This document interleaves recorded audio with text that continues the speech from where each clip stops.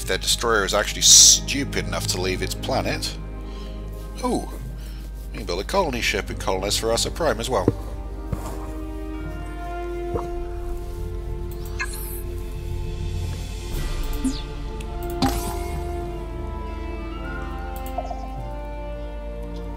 Okay.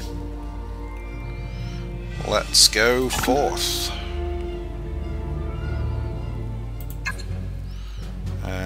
They have not built a missile base, so... There is my fleet. I don't think this is going to go too well for them somehow. Uh, we're going to pull these guys back again a little bit. Now they are sensible enough to be holding their destroyer back.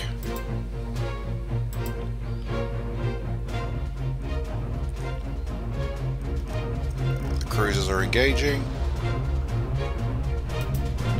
So I'll let these guys get stuck in at this point.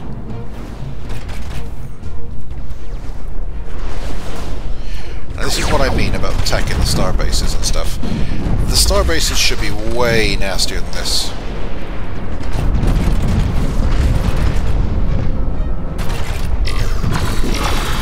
For starters, it hasn't shields. I know they have shield tech. If that thing was suitably upgraded to the same tech level as, for example, my fleet, I lost a ship then. Nope, I didn't. Okay. Now, we're going to bombard these piecemeal, because I don't want to wipe the, the population out.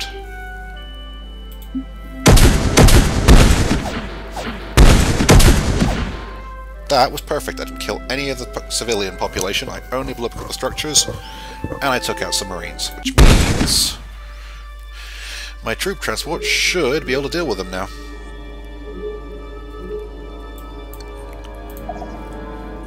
If it isn't, two definitely will be enough, but...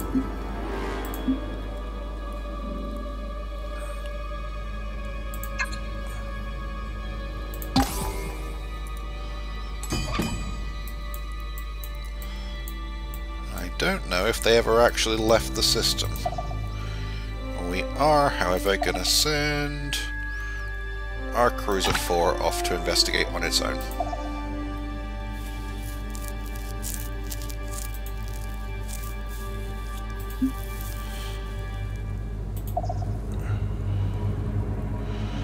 Cruiser 4 does not have any bombs though, so... Okay, we'll come back.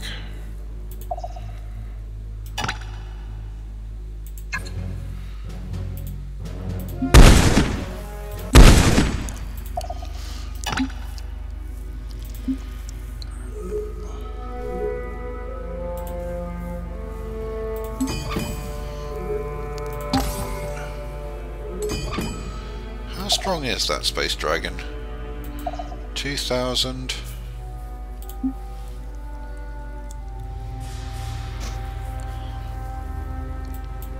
Okay, that troop ship can come on in as well.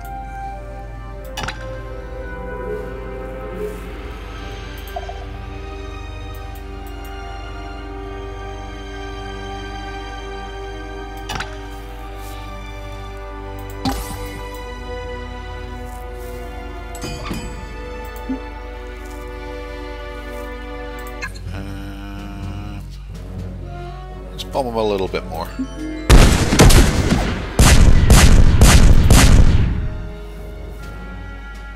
And okay, they got no structures left. They got three personnel. Basically, they got no nowhere defending the planet at this point. As soon as my first troop ship gets there, it will steamroller them. So, these guys can at the point go on guard. Just blockade the planet until they get there, and then we will end the war.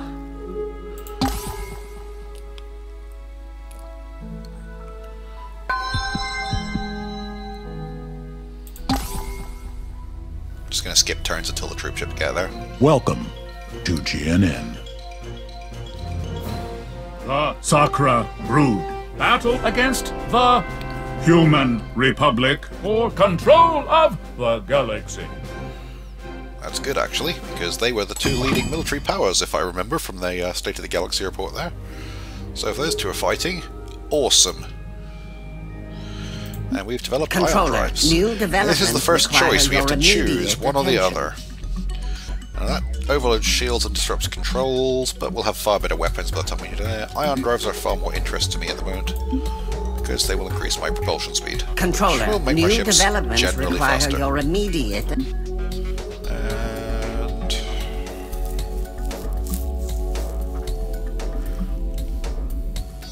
at this point, I think I would quite like. Eureka! Um, Genius! I have moons on a lot of my planets. Orbital shipyards are very good. Make ships 20% cheaper. And that gives you plus 4 research. That gives plus 1 research per cell, though. That's Your no, uh, private funding.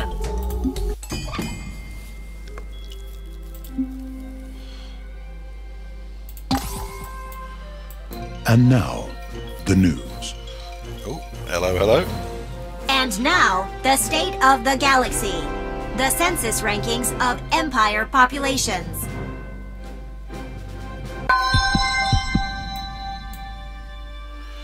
That's interesting. I just saw something as saying rumors of cloaked Antarian ships. Antares was the bad guys from Mass of Orion 2.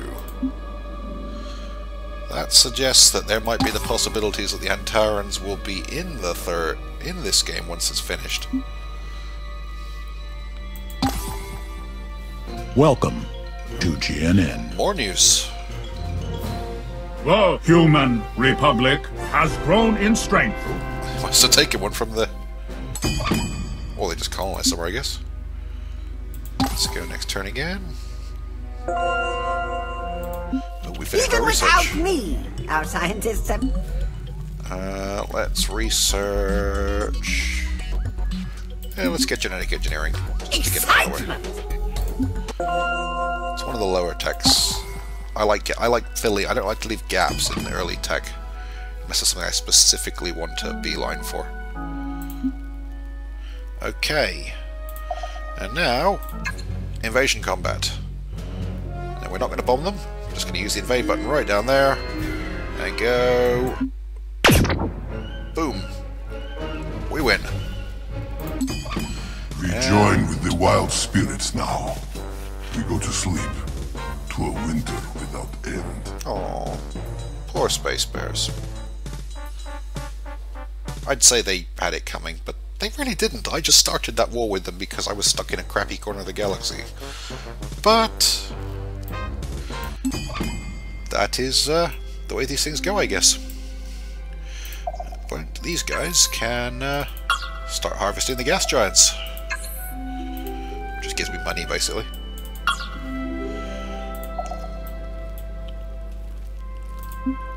And Ferrasa 4 will have automated factories, hydroponic farms, biospheres, and yeah. Let's get them back up and running because we kind of bombed their colony to dust. You see, it's already pretty heavily polluted. That's because, well, we nuked the hell out of the planet. Now, this is an awesome planet, actually. It's ultra rich. It's a swamp, but it's an ultra rich swamp. And it has gold for even more money. We will buy the automated factories immediately. And end turn. And that was the end of our little war.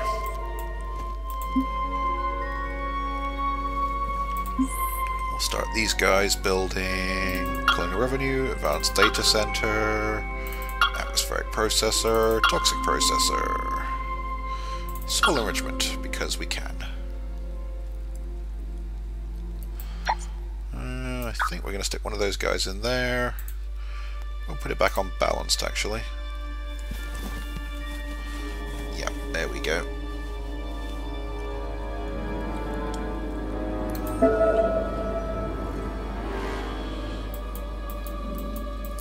Okay, and that's a little mini-series for the moment. Um, for now, anyway. We will come back to it probably a bit later. I'm I am going to play on with this game. Uh, I'm not going to necessarily film every bit. I might um, come back to it a little bit later on and pick this up once we're a bit further down the line.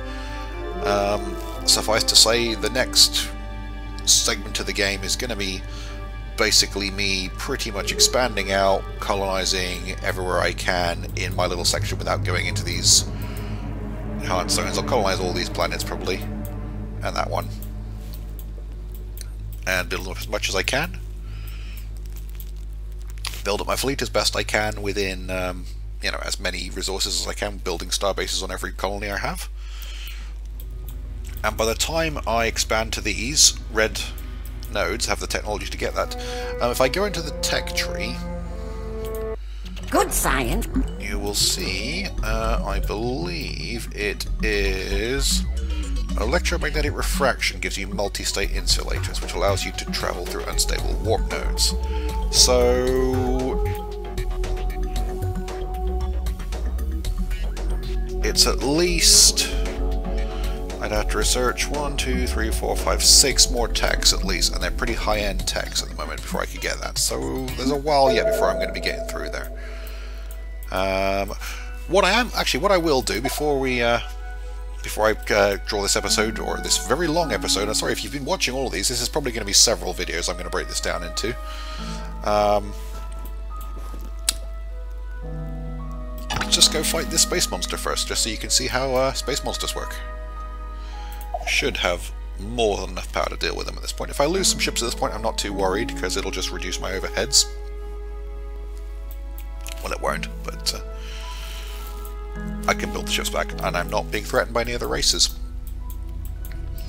And I'm actually pretty safe because I'm pretty sure that I'm probably ahead of the curve technologically.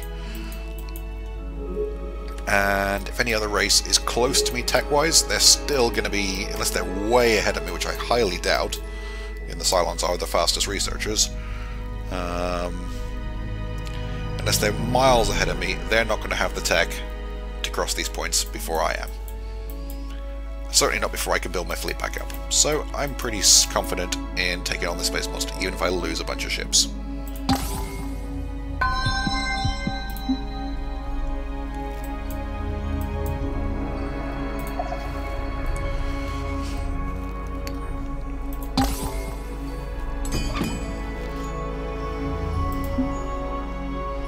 What have we got here? Let's build soil enrichment, cloning center,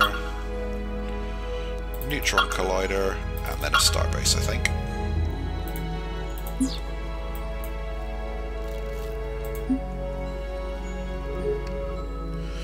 Don't like that system. This system's a problem because you can't.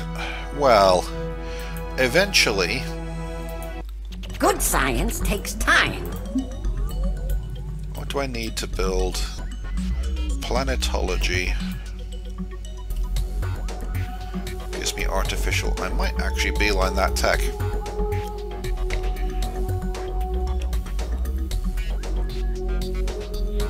Ooh, terraforming is a good one as well. As is heightened intelligence. Yep, I'm gonna beeline planetology. One, two, three, four, five, six, seven, eight. Yeah, because then I can start turning gas giants and asteroids into habitable planets. They're crap, barren planets, but it'll allow me to colonize that system for starters. Uh, and I've got, as you may have noticed, quite a few asteroids and gas giants floating around. In fact, I've got, you know, suddenly that's a four planet system.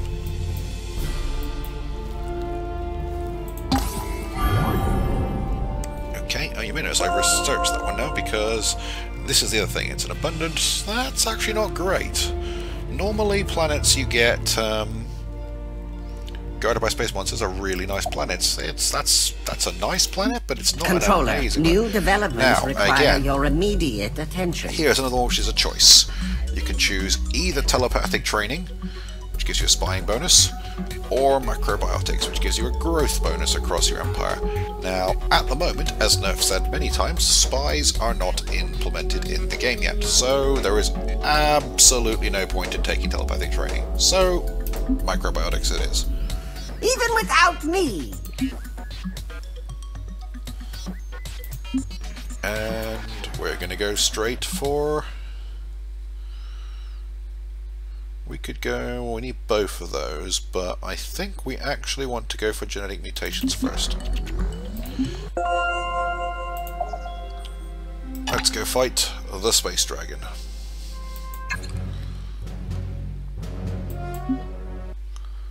Here comes our fleet.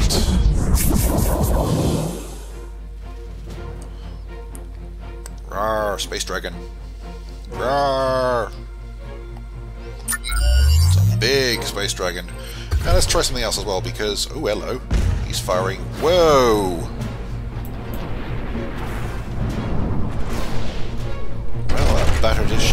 Quickly. Let's turn on cinematic camera.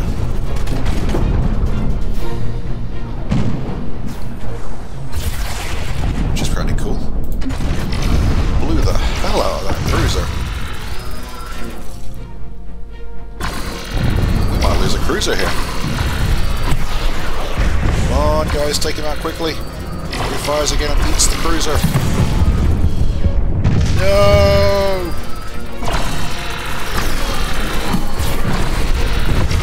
He's going down, obviously.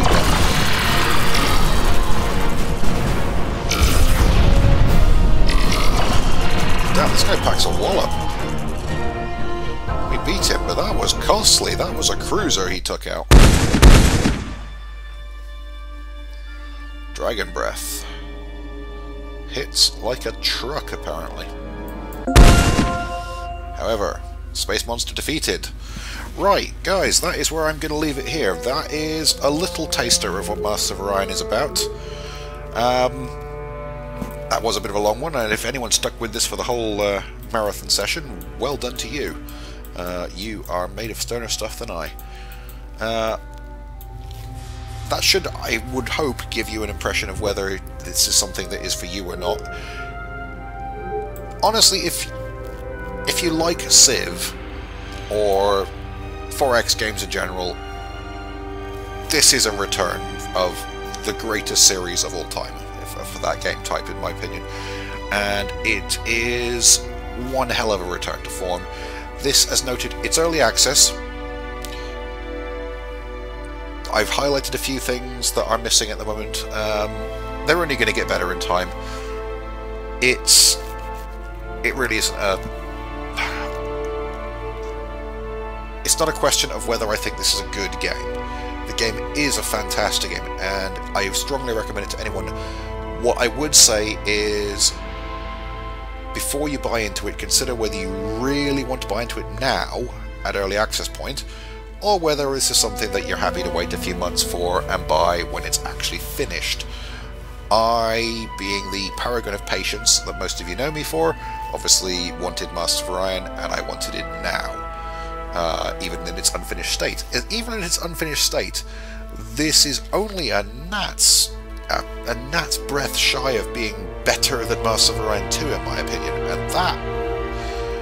Master of Orion 2 is an old game, and it has flaws that have been corrected in a lot of games since, but overall, Master of Orion 2 just has that charm that no other game, not even Civ for me, has matched. And this has that. It has that in spades. It has the charm, it has the depth, it has the strategy, and it has that sort of element that no two games are alike. As noted, that whole war with the um, Bulrathi. I've never had a start to a game like this. This, this, that was new. I've hugely enjoyed that. And I, I thought I'd lost. I genuinely thought, when I cocked that up there, I thought I'd overextended myself, and I thought I'd lost the war. I thought they were going to push back and wipe me out. But no, I fought back and held my own. So, yeah.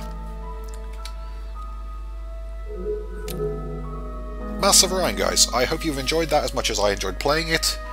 Uh, I'm going to carry on with this playthrough, uh, probably not tonight, because, uh, well, I've got to work in the morning, and there's only so many hours in the day, and Time is anyway? Oh, blimey.